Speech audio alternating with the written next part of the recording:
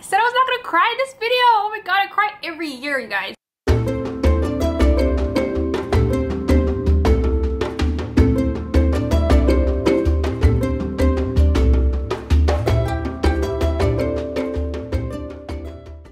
Hey guys, Assalamualaikum. Welcome back to my channel. You probably thought you would never see me again. I'm the worst YouTuber in the world, but I'm coming back this year. I am all about my content creation. I'm really trying to pump out content for you guys. I want to be more involved with my social communities that I've started. And yeah, this is definitely the year of seeing my face because I'm going to be posting all the time. I swear to God. You guys going to get sick of me by the end of this. Um, wait, should I take off my glasses?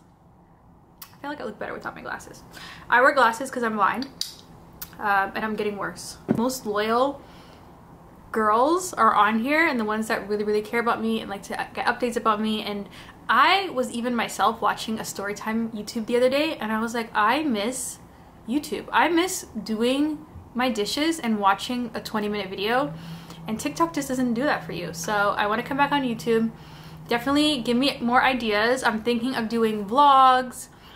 I'm thinking um, like hauls, Ramadan's coming up, so I'm definitely going to show you guys my recipes, how I eat healthy. You guys maybe have noticed something, my dramatic weight loss. so I've lost like 35 pounds, alhamdulillah and I can do a video just on that if you guys want. But definitely, I have changed in so many ways over the last few months, and I just can't wait to share it with you guys. My mindsets, the way I eat, the way I communicate with people, everything has had an overhaul, and I've never never been better. Okay, I hope you guys can see it. Like, I feel like, do you guys see the happiness? Because I'm feeling really good. I know this is going to be a wonderful year. Ramadan is here. I've never been so excited for Ramadan. Last year was my travel. Like, I went around the world and back. Alhamdulillah, I went to Hargeisa, I went to Hamar, I went to Dubai, I went to Fiji, Mexico. Like, I was everywhere. And it was a great year of travel for me and discovery. Here I'm a little bit more grounded, but still I have some travel plans for later in the year. So I'm gonna vlog it for you guys. So let's start off with weight loss. So alhamdulillah, I've lost 35 pounds in the last, God, it's been since August. So August, about seven months alhamdulillah i've been pretty steady i don't really want to lose any more weight which is why i'm way more flexible with my diet maybe a little bit too flexible so i'm trying to rein it in and I feel like Ramadan is a great time to like restart some of the bad habits that I've started picking up again. I'm gonna do a dedicated video just about the way I eat, what I eat in a day, things like that. But just to give you guys an overview, I cut sugar out of my diet. I was a sugar fiend. I had a doctor once who told me that I was addicted to sugar. And I was like, how do you know that? um, so I wasn't really listening. But it's true, I was so addicted to sugar. You could see it in my skin. You could see it like seeping out of my pores and I am the number one advocate for looking into how much sugar you're supposed to have. I'll put in here how much sugar you're supposed to have and then I'll put here what a typical person or what I was eating in a day and let you guys see those numbers. I have my Diet Pepsi cut out sugar i eat way more clean i do moderate to low carbs and i will definitely do like a what i eat in a day because it's hard to explain sitting down but when i show you guys my recipes the things that i eat it will make more sense the way that i eat. I only started working out in the last few months and i've had recently a setback where i hurt my toe. I'm always hurting myself you guys. I hurt my finger too when i was in Hargeisa and i broke it so yeah, I hurt my toe, but I'm doing better now, so I'm gonna go back in. I love Pilates, I love yoga, I like to do classes. I'm the type of person, I lack motivation when it's just me working out, so I love doing classes. I love walking. For the first three months, that's all I did. It was just after I dropped my daughter off to school, I would try to take the long way home, and then it slowly I went from taking the long way home to doing a 30 minute walk, and then from 30 minutes to doing 40 minutes 50 minutes and now i do like an hour and a half easily. I walk everywhere. I love walking. I feel like it's the easiest form of exercise and it's one of the best forms of exercise. And you don't need to spend a dollar to do it. You just need some comfy shoes and a good podcast and you can walk walk walk. All right so the weight loss is out of the way so we can talk about my personal life how i've been doing. Alhamdulillah it has been almost god five years four or five years. It's crazy. I feel like you've really healed when you lose track of time. um, there was a time when I knew like to the moment of when I got divorced. And now I'm thinking back like, oh God, what year was it? Um, so about four to five years since I've been by myself. It's uh, something that gets easier with time. I feel like being on your own, doing it on your own, it's like a muscle that you build. And the longer you do it, the stronger that muscle becomes. So I feel like I'm so far removed from the person that was so stressed out and so worried a few years ago about where life was going to take me. Things are going great, alhamdulillah, as far as like Alina, she's thriving, she's doing well. Luckily, she was really young when we got divorced, so I feel like it didn't impact her like it does some other kids who like really remember their parents together. It definitely is sad sometimes when she notices um, like at school events and things like that. We both go to her school events, but like she'll notice obviously that people come with their parents together. So that's pretty much the only thing. I feel like she's really at peace with where we're at and she doesn't like, you know, it's just her normal. So yeah, we're doing great, me and her. I feel like if I were even to get married ever again, inshallah, I do want to get married again. I feel like I will always look back on this time when it was I said I was not gonna cry in this video. Oh my god, I cry every year, you guys. Oh my god, I'm a very emotional person. So, okay. I want to say this and I don't want to cry, but I will always look back. If there's ever a time where it's not just the two of us, I will always look back at this time with such fondness guys. I've composed myself. Uh, so I'll always look back on this single mom era with such fondness even though it was really hard especially in the beginning i will always look back and just be like wow like that was a good time for me and alina and just feeling like we can conquer the world together and i will never look back and think it was horrible as i thought it would be and I say this because I know overwhelmingly, overwhelmingly on YouTube when I post these kind of videos, I get messages from so many women who are in the beginning stages of either a separation, a divorce, or whatever it is, and they have children and they're so stressed out and they're so worried. And I think that they find it comforting to see somebody kind of on the other side of it. And I do feel like I've reached like the best part that I could be at with it in the sense that I feel really at peace. I like the independence and there's a lot of like good sides and bad sides but I'm really choosing to focus on the good sides. Um, the fact that I'm able, able to do this video right now in a quiet house because my daughter she's at her dad's house and so there's benefits to everything. I feel like um, I don't know any other mom that gets weekends off so I get every weekend off.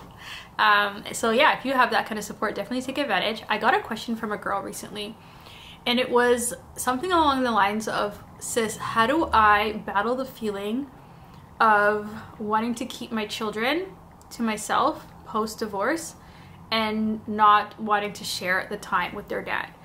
And I think a lot of girls struggle with that because it's so difficult in the beginning when you're used to seeing your kids every single day and then now you have to think about co-parenting and sharing their time and not seeing them for a couple days. And it's hard. It's definitely hard. I look at it kind of like i like the time off. I've never been the type that's like keeps alina away from her dad because it's only helping me. Like of course i want the time off. I want to chill. Come pick up your daughter. Sounds great. Like i it doesn't bother me um, but i can see where you're coming from or where she was coming from in that in the sense that like when you're losing control of a lot of parts of your life, you kind of just want to hold on to control in some aspects. And I feel like a lot of people kind of fixate on controlling the children aspect. But if you think about it realistically and logically, you know, it's nice to have help. It's nice to be able to share love of having children with somebody else.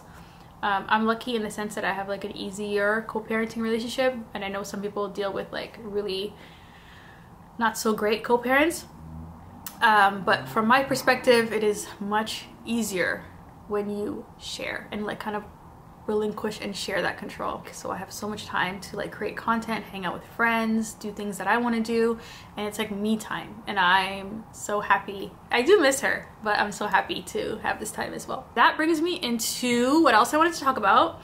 I am on a little fertility journey. If you guys follow me on TikTok, I posted a little bit about that. Um, it started off with my friend. She got her eggs frozen, or she froze her eggs. Um, and it got me thinking about that and like, what does that mean? And she did a bunch of tests. And so I'm like, you know what? I'm 33 and I watched an episode of Girlfriends. Um, do you guys watch Girlfriends? So there's an episode of Girlfriends where Joan is thinking about getting back with her ex Brock who doesn't want kids.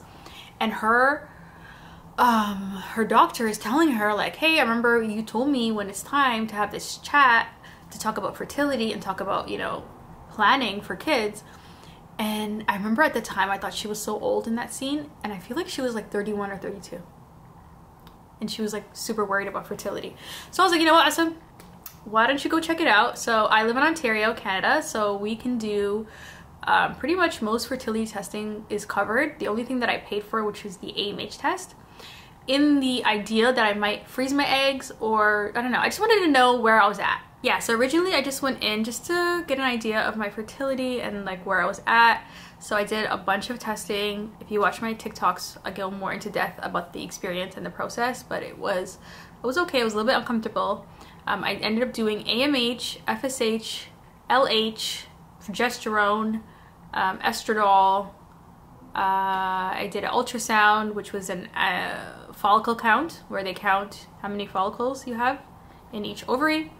And I got the results back. Uh, my AMH was low, and then the other tests were fine. I forget what it's called, but it's about your ovarian reserve. So it's basically how much ovaries. No, you only have two ovaries. It's how many eggs you have left. I keep making this mistake. You only have two ovaries, or most people have two ovaries. And so all my other tests were okay, just the AMH that was low, and I was freaking out about it. And I was like, oh my god, I'm infertile. But alhamdulillah, I have spoke to so many beautiful girls who have given me advice and have told me that this does not mean what I think it means and it's definitely um, nothing to be too stressed about. So yeah, I don't know if I want to freeze my eggs yet. I think I'm going to take the Ramadan just to think about it uh, if you guys have any experience with this process, let me know. Uh, I think I would prefer to get married and then do ovarian, not ovarian, embryo freezing because I heard it has better results instead of just doing egg freezing. But Allahu Alam, I will come to that road when I need to. For now, I've done an appointment. I have an appointment in a couple months to retest my AMH and then see what the numbers are looking like then.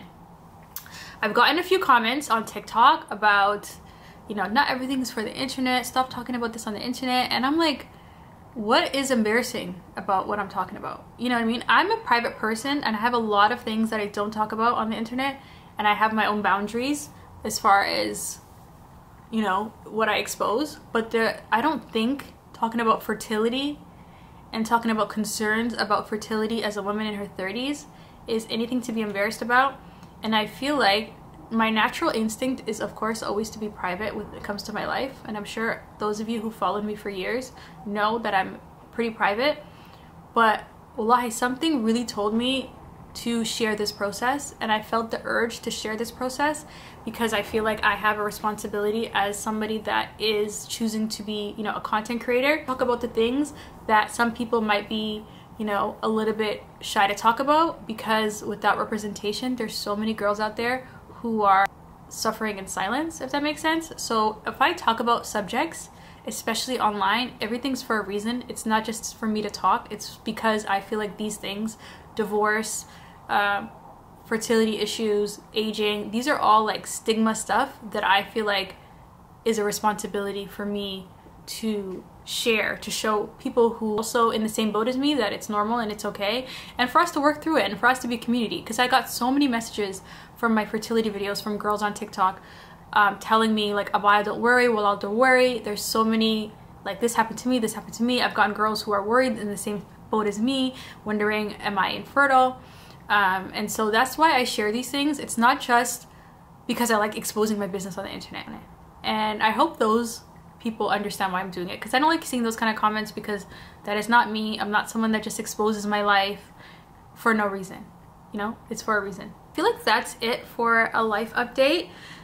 um, I'm definitely be creating a lot more content for Ramadan inshallah so stay tuned for videos let me know in the comments if you guys have any specific videos that you guys want me to make I definitely want to create a lot more content for Ramadan inshallah so let me know what you guys want to see this month I hope you guys are healthy and safe and I will see you guys in my next video inshallah.